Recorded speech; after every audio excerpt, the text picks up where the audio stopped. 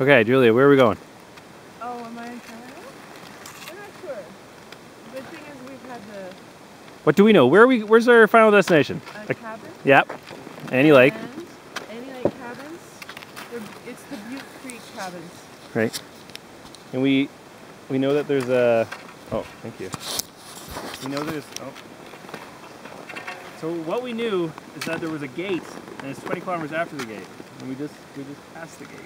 Two We hours in. thought- yeah, we thought we had already done 15 of those kilometers, so it'll be closer to 30.